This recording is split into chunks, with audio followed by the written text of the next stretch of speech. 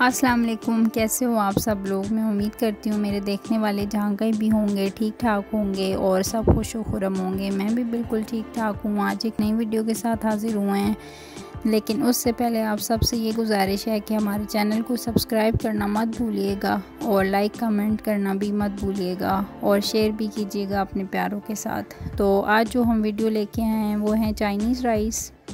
मैंने तीन कप चावल लिए हैं और इनको अच्छी तरह से धोने के बाद जो है मैंने पानी डाल डाल दिया है बॉईल करने के लिए। उसके साथ ही चार चम्मच जो हैं वो मैंने नॉर्मल नमक के डाले हैं और एक टेबल स्पून जो है वो चाइनीज़ नमक डाला है। उसके साथ एक दो टेबल स्पून जो है वो कुकिंग ऑयल भी डाल दे ताकि नीचे से लगे नहीं। जब तक हमारे चावल बॉईल होते हैं, दूसरी साइड में मसाला बना लेते हैं। इसके लिए जी मैंने एक कढ़ाई में ऑयल लिया है। और इतना ज़्यादा भी नहीं होना चाहिए, ना इतना थोड़ा होना चाहिए। और इसके साथ एक दरमियाने साइज़ का प्याज लिया है। प्याज को ज़्यादा ब्राउन नहीं करना, बस सिर्फ़ उनका कच्चापन ख़त्म करना है। जब थोड़े से सॉफ्ट हो जाएँ तो उसके बाद मैंने आठ से दस हरी हरी मिर्चें डाली हैं, जो कड़वे वाली होती हैं।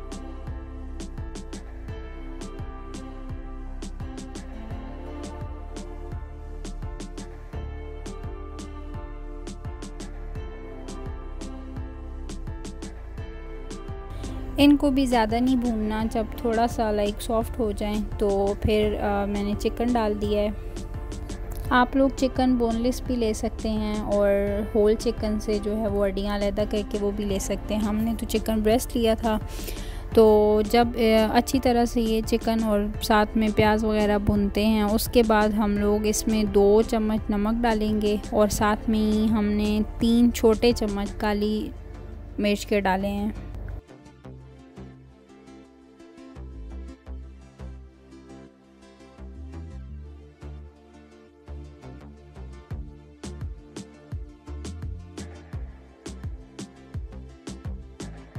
अब इन सबको अच्छे तरीके से भून लेंगे, थोड़ा सा ऑयल ऊपर आएगा।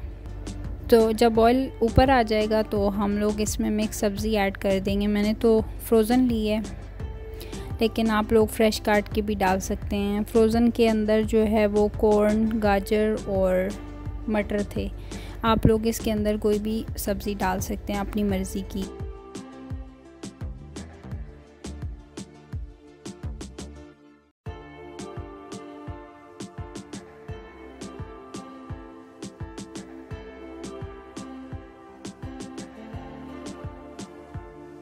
उसके बाद जो है अच्छी तरीके से भून लेंगे इसको। फिर हमने ब्रोकली ली है। ब्रोकली आपकी जितनी मर्ज़ी ऐड कर सकते हैं। हमने छोटे साइज़ के दो फूल ऐड किए थे।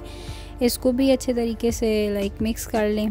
और बहुत ज़्यादा नहीं भूनना, कच्चा ही छोड़ना है, क्योंकि फिर बाद में दम में भी ये पकेंगी तो फिर बहुत ज़्यादा गल जाएँगी। इसके बाद बंद गोभी का एक दरमियाने साइज़ का पूरा फूल हमने डाला है इसके अंदर। अब इन सब सब्ज़ियों को अच्छे तरीके से भून लेंगे। लेकिन इनको गलाना नहीं है कच्चा छोड़ना है थोड़ा सा।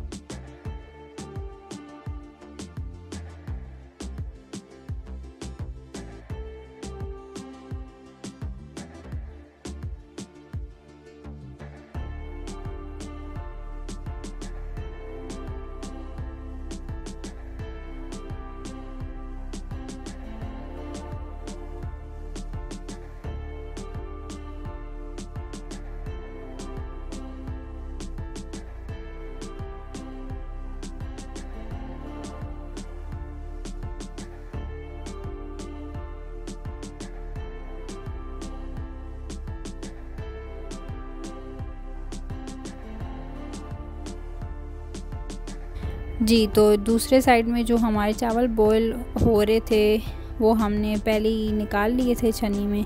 तो इनका पानी निकालने के लिए रखा हुआ था मैंने। तो जब ये सब्ज़ियाँ पक जाएँगी तो हम लोग चावलों की तय लगाएँगे। उसके लिए एक देखचे में आप थोड़ा सा नीचे ऑयल लगा लें। बहुत थोड़ा सा ग्रीस करना है सिर्फ़ के लगे नहीं दम लगाते वक्त। इसके लिए मैंने एक नीचे और एक ऊपर चावलों की लेयर लगाई है और बीच में जो है वो सब्ज़ियाँ सारी डाल दी मसाला डाल दिया। फिर इसको दम लगाएँगे पंद्रह मिनट के लिए।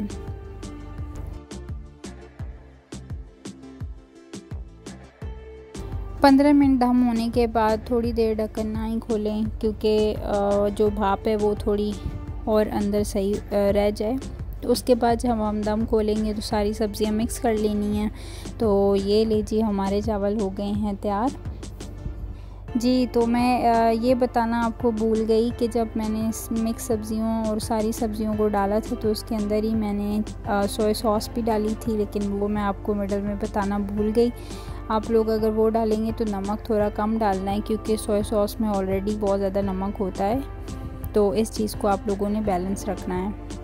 तो ये है हमारी चाइनीज़ राइस की फ़ाइनल लुक उम्मीद करती हूँ कि सबको बहुत ज़्यादा पसंद आई होगी और अगर पसंद आई हो तो हमें कमेंट्स करके ज़रूर बताइएगा। इसी के साथ आज की वीडियो का करते हैं अख्ताम और इन फिर किसी अच्छी सी वीडियो के साथ हाज़िर होंगे।